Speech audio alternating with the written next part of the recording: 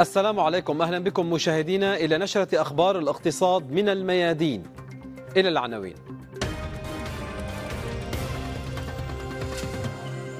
توقعات غير مشجعة للنمو في تونس ومخاوف من فشل السياسات الاقتصادية في الحد من الأزمة الاجتماعية.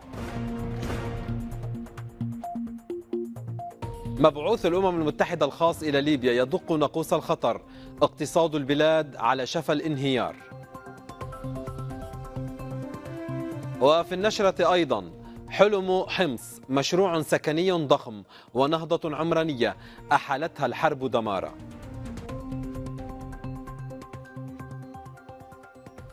أهلا بكم. تشير أحدث المعطيات في تونس إلى نسبة نمو اقتصادي لا تتجاوز 3% هذا العام. نسبة لن تساهم بحسب الخبراء في إخراج البلاد من أزماتها الاقتصادية والاجتماعية. وتنذر بتواصل الإضرابات والاحتجاجات الاجتماعية الشعبية ما لم تغير الحكومة التونسية سياساتها الاقتصادية مراد الدلنسي والتفاصيل من تونس توقع البنك الإفريقي للتنمية أن يحقق الاقتصاد التونسي نموا بنسبة 3% هذا العام. المعهد التونسي للإحصاء كشف أن تونس حققت نموا لم يتجاوز 1.7% خلال الأشهر الأولى من العام الحالي. نسبة اعتبرها مراقبون ضعيفة جدا ولا تسهم في حل المشاكل الاقتصادية الكبيرة التي تعانيها تونس. ما عادش عندنا هوامش تحرك كبيرة. ياسر كان باش ندخلوا في عملية إنقاذ ونخرجوا الاقتصاد من التجاذبات والخلافات السياسية ونمشيو به للمصلحة الوطنية باش نلقاو معناتها الحلول اللازمة ونطبقوها على أرض الواقع. ما كانش راهو باش ترسينا في مشكلة كبيرة. نحن اليوم دخلنا في نوع من التبعية الاقتصادية وفما حتى نجم نقول لك ضرب للسياده الوطنية. وما يزيد من خطورة هذا الوضع الاقتصادي تزايد الإضرابات العمالية في معظم القطاعات بالتوازي مع احتجاجات اجتماعية متكررة آخرها في قطاع الفوسفات ما تسبب بتعطيله وخسارة الخزينة مئات الملايين من الدولارات. الواقع الاقتصادي التونسي لم يتغير بحسب خبراء ما بين حقبة بن علي والعهد الحالي في ظل عجز الحكومة الحالية عن إيجاد الحلول للمشاكل الاقتصادية العالقة. هي حكومة ما عندهاش جرأة باش تقف تقول لا لصندوق النقد الدولي وما عندهاش جرأة باش تقول لا ل 2% من المستكرشين اللي أثروا زمن بن علي وقاعدين يثريوا توا واللي هما وراء العملية السياسية وداعمين الأحزاب هذه وهما داعمين المنظومة الإعلامية وهما اللي وصلوا الناس هذه للسلطة سياسيون يحذرون من أن استمرار هذا النمط الاقتصادي سيؤدي إلى ثورة ثانية لعدم قدرة أرقام النمو المحققة على خفض معدلات البطالة وتوفير فرص عمل لا سيما للمتخرجين الجامعيين وعلى تنمية المناطق المحرومة. نسبة النمو الاقتصادي في تراجع وهو ما لن يمكن الحكومة التونسية من تجاوز المشاكل الاجتماعية والاقتصادية التي تعيشها البلاد. لذلك يدعو اقتصاديون وسياسيون الحكومة الحالية إلى وضع أنموذج اقتصادي جديد يقطع مع الأنموذج الحالي الذي اعتبره فاشلا. مراد الدلنسي تونس الميادين. نبقى في تونس حيث تراجع العدد الإجمالي للسياح خلال شهر نيسان إبريل الماضي بنسبة 7.4% والمداخيل المالية للقطاع بنسبة 3.4% مقارنة بالفترة نفسها من العام الماضي. وفيما تخطط الحكومة التونسية لاستعادة السياحة عافيتها والوصول إلى رقم 7 ملايين سائح جاء الهجوم الإرهابي على متحف بردو ليرسم مستقبلا مجهولا للقطاع الذي يعمل به قرابة نصف مليون عامل ويساهم بنسبة 7% من الناتج المحلي الإجمالي. اقتصاد ليبيا على شفا الانهيار. الكلام لمبعوث الأمم المتحدة الخاص إلى ليبيا برناندينو ليون بعد لقاءات عقدها مع محافظ البنك المركزي الليبي مؤكدا أن الوضع صعب للغاية فيما يتعلق بالماليات العامة للبلاد. ومنذ أشهر يحاول ليون التوصل لاتفاق على تشكيل حكومة وحدة وطنية في ليبيا حيث تتصارع حكومتان واحدة في الشرق وأخرى في العاصمة طرابلس للسيطرة على البلد الغني بالنفط بعد أربع سنوات من إطاحة حكم القذافي. قال مدير عام عام منظمة الهجرة الدولية ويليام لاسي سوينغ إن موجة الهجرة التي يشهدها العالم حاليا هي الأكبر في تاريخ البشرية. سوينغ الذي تحدث خلال مؤتمر عقد في بانكوك اعتبر أن الهجرة واسعة النطاق حتمية وضرورية وهي حقيقة يجب التعامل معها. لافتا إلى أن التاريخ أظهر أن الهجرة كانت أمرا إيجابيا للغاية. إلى لبنان وفي أجواء ذكرى تحرير الجنوب من الاحتلال الإسرائيلي شهدت مدينة النبطية افتتاح معرض عقاري يهدف إلى تعزيز حركة الإعمار في المنطقة. عضو لجنة المال والموازنة في البرلمان اللبناني النائب ياسين جابر أثنى على النشاط العمراني في المنطقة على الرغم من ملامستها الحدود مع فلسطين المحتلة والتهديد الإسرائيلي. جابر تحدث عن العائدات الاقتصادية والاجتماعية لنشاط السوق العقارية فالقطاع العقاري يحرك كثير من القطاعات الأخرى في البلاد وطبعا ينمي الاقتصاد يخلق وظائف يشغل اليد العاملة العاملة ويجب أن يعطى هذا القطاع الاهتمام الضروري.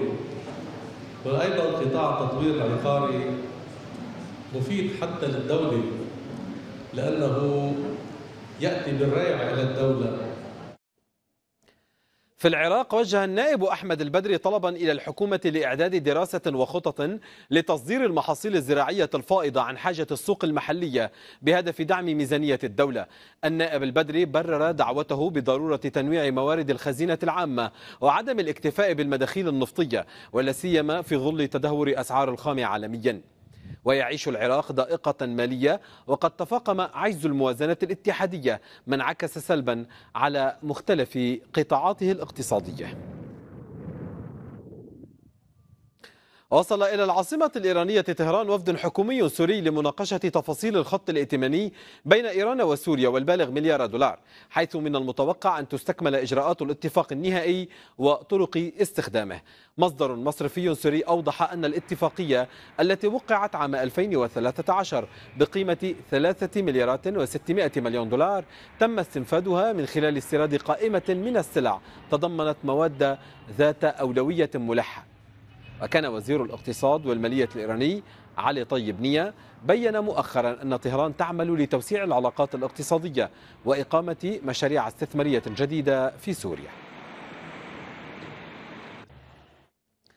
كانت مدينة حمص السورية على موعد مع مشروع معماري ضخم قبل الأزمة سمي بحلم حمص. الحلم الذي كان يهدف لتحويل المدينة إلى عصب سياحي منافس في المنطقة إلا أن الأزمة كانت أسرع من الحلم فدخلت المدينة حتى قضت عليه وعلى أمال ساكنيها. طارق علي والتفاصيل من حمص. حلم حمص الحلم الذي حالت الحرب دون تحقيقه. حمص كادت أن تكون مدينة سياحية بمشاريع اقتصادية وخالية من العشوائيات. قبل أن تشتعل عشوائياتها وتدخل المدينة في أتون حرب لأربع سنوات زادت فيها دمارا وفقرا. نحن كنا موعودين بحلم حمص يتحقق بالسنوات السابقة. إجت الأزمة وما تحقق حلم حمص ولرجعنا لأيام ما قبل حلم حمص. زادت الشوارع سوء زادت التعليم سوء زادت الحياة الاجتماعية سوء زادت الحياة الاقتصادية سوء. أحلام حمص كانت عجيبة غريبة. منه مثلا كان في بالنسبة للأعمار؟ وبالنسبة للخدمات؟ وبالنسبة لوضع المعيشة بشكل عام بالنسبة لمحافظه حمص هذا كله ما تحقق. مناطق صناعية نموذجية واعتماد المسطحات الخضراء كواجهة جمالية وشبكة نقل متطورة بعد التعاقد مع شركات إعمار عالمية. حلم حمص بقي حلما بعد تسلل الرصاص والمعارك إلى أحياء المدينة وأزقتها. طبعا نحن قبل الأزمة كنا كثير عندنا أمل كبير بمشروع حمص الكبير والحلم الكبير وكنا متأملين أنه تتحسن الأوضاع بمدينة حمص.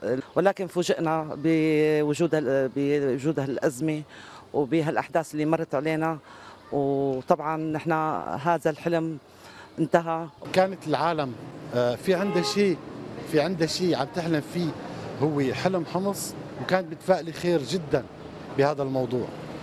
فما كان هذا الحلم كان بالعكس كانت المأساة اللي اجت على البلد. لا يصعب على الكاميرا الجوالة في أحياء المدينة رصد الدمار وآثار المعارك. دمار زادته أزمة اقتصادية طاحنة وانعدام أي أفق سياسي قد ينتج استقرارا لمشاريع ترميم أو إعادة إعمار تحتاجهما المدينة بشدة. لتعود ولو صورة صغيرة من حلم ضاعت تفاصيله بين متاريس الحرب ورصاصها. فغاب الحلم وغاب انتظار الحالمين به. إهمال متزايد للأحياء الفقيرة في حمص أساسا. الأحياء التي كان يفترض أن تشهد إعادة ترميم ما قبل الأزمة. حتى جاءت الحرب فأضافت إليها دمارا بات يصعب معه معالجة الأسباب قبل البدء بإعادة إعمار فعلية في المدينة. طارق علي حمص الميادين. رئيس مجلس النواب الأمريكي الأسبق في قفص الاتهام. الجريمة مصرفية وتتعلق بمحاولة التهرب من متطلبات الإبلاغ عن سحوبات النقدية والكذب على مكتب التحقيقات الاتحادي FBI وزارة العدل الأمريكية أعلنت أن الجمهوري دينيس هاسترت سحب ما يصل إلى مليون وسبعمائة ألف دولار نقدا على مدى خمسة أعوام وسددها إلى شخص مجهول. وجاء في لائحة الاتهام أن هاسترت اتفق على سداد ثلاثة ملايين ونصف مليون دولار لشخص لم يتم تحديد هويته. نبقى في أمريكا حيث انكمش الاقتصاد في الربع الأول من العام الجاري بفعل ارتفاع سعر صرف الدولار واشتداد موسم العواصف والثلوج. الحكومة قلصت تقديراتها للناتج المحلي الإجمالي بما يظهر انكماشا بنسبة 7 في الألف على أساس سنوي. ومع الأخذ بتقديرات في حدود نقطتين مئويتين لمعدل النمو في الربع الثاني يبدو أن الاقتصاد الأمريكي بصدد تسجيل أسوأ أداء نصف سنوي منذ أربع سنوات. وكانت توقعات الاقتصاديين تشير إلى انكماش الناتج المحلي الإجمالي بنحو 8%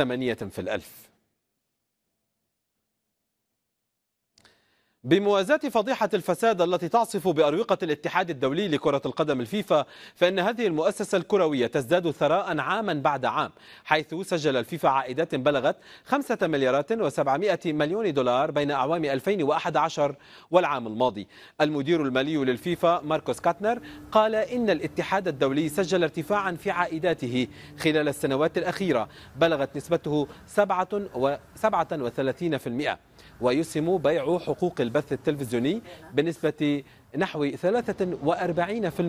من إجمالي العائدات المالية بينما أسهمت عقود التسويق بنسبة 29% هذا كل ما لدينا من أخبار في الاقتصادية المفصلة. نشكر لكم حسن المتابعة. للمزيد كالعادة الميادين دوت نت. إلى اللقاء.